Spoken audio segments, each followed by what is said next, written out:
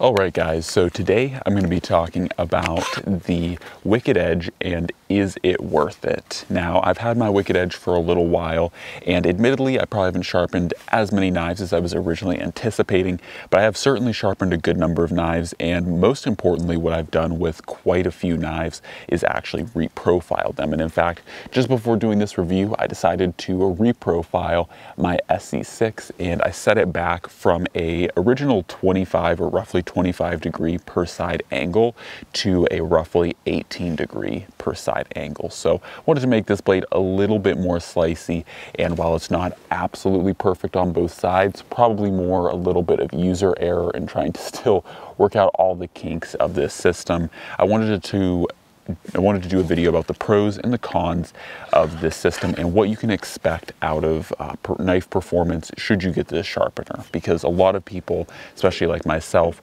we end up, you know, collecting a lot of knives and get to the point where it's like, well, you have a lot of knives, but how do you keep them all sharp? And so you want to find a solution that is good and effective for being consistent and quick. And also, you know, when you have expensive knives, expensive knives that are, you know, twice the price of even this ESEE 6, you want to make sure that you can put a quality edge on your knife and you're not damaging or destroying that blade. So I ended up going with the Wicked Edge itself or the Wicked Edge, a pretty base level, but still quite expensive pro sharpener.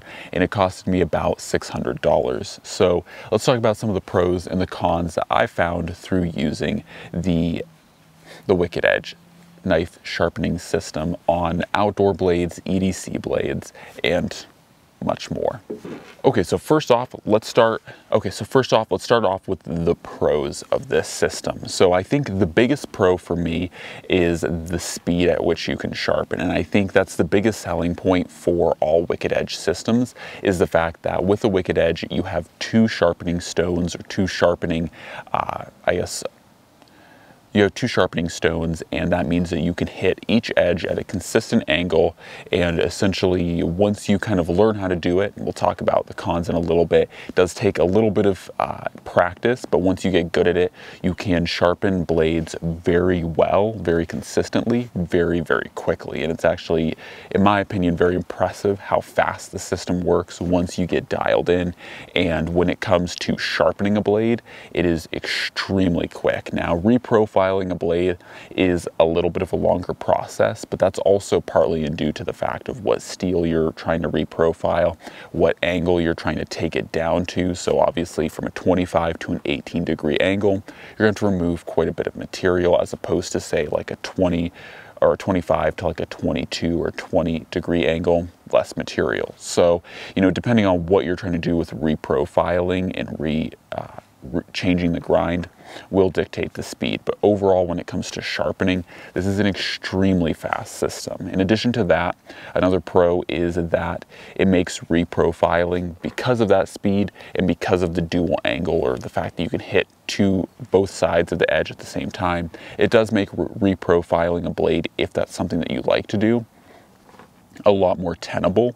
In addition to that, too, it is also in addition to that, I also feel like this gives the Edge a better than factory uh, kind of I also feel like this system does a better job than factory edge. So the end product is what I would consider better than factory. And of course, once again, that's slightly contingent on the factory. Something like a Chris Reeve knife is going to be probably on par with this system, but if say you're buying a Benchmade or an ESEE or just about any factory kind of mass produced blade, this will be a better edge in the end than those. Um, so other pros to this that I would consider in my opinion is once you kind of get past that learning curve, I feel like the uh, I feel like the Wicked Edge is very easy to use and it is also very easy to set up. Once you have everything kind of dialed in, uh, it is very easy to use and very easy to set up. So now let's talk about some cons to this system.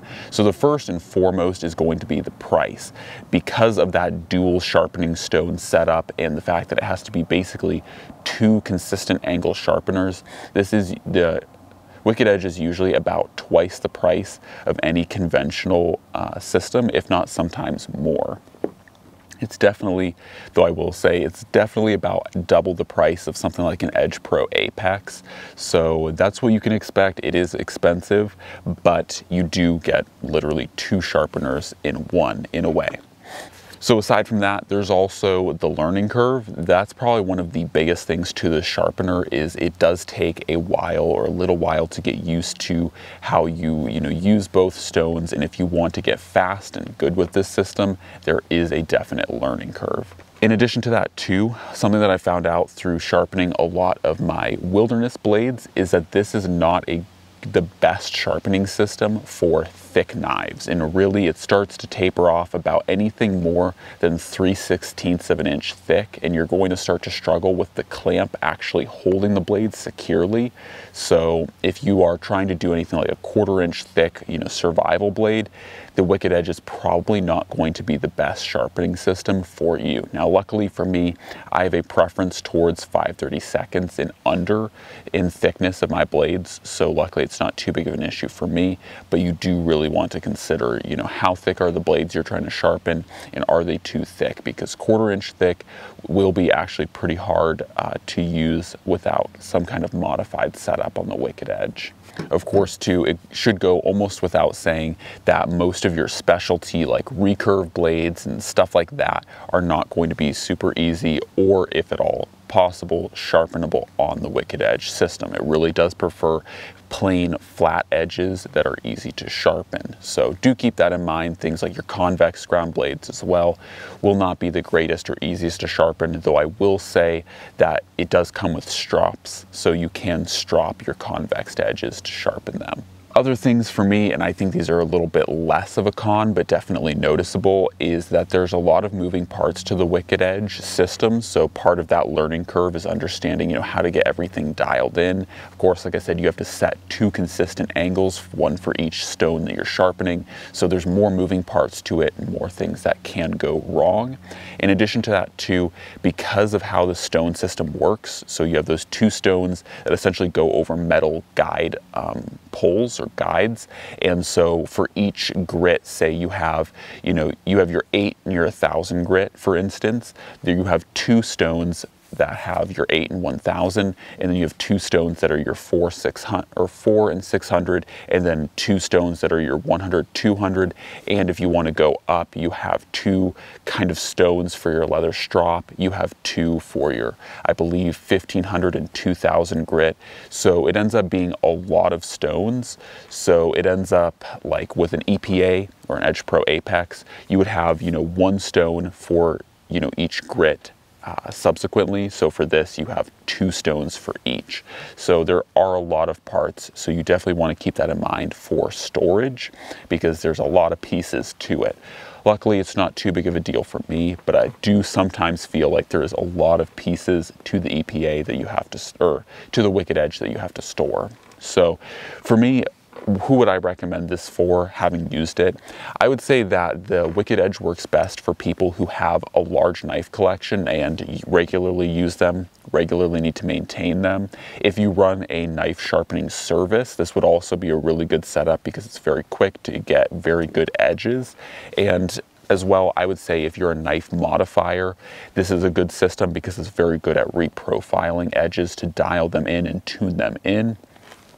Also, I would say that this is a good system if you are a custom knife maker. I think this is a really good way to you know, make sure that your product, your end product is just a cut above the rest because, you know, you can grind out your bevels and everything on a belt sander at a high grit, but the Wicked Edge really helps put that fine toothed edge that's really going to last a while and be very clean, very precise. And once again, the end product will be very uh, usable and enjoyable by your uh, customers. So if you are any of those groups, I would say that the Wicked Edge could be worth it. Uh, they are expensive to get into upfront cost, but nothing really does compare with the speed and the rate that you can get out of these blades. And once again, so long as you're willing to sit down, take the time to learn it and get consistent uh, with it, it will give you consistent results. So anyways, guys, hopefully enjoyed the video. Hopefully enjoyed my kind of experience with it. Like I said, I did reprofile this ESEE 6 just for the, not quite just for the fun of it, but I wanted to kind of thin it out a little bit, make it a little bit more slicey and really test that uh, Wicked Edge. It did a good job with the full six inch blade. And uh, yeah, it's, it is a really good setup once you get used to it and learned it is expensive, but in the end, if you need that performance and that speed, it's hard to find another sharpener on the market that can match it. Anyways, guys, hopefully you enjoyed the video. As always, God bless, and I'm out.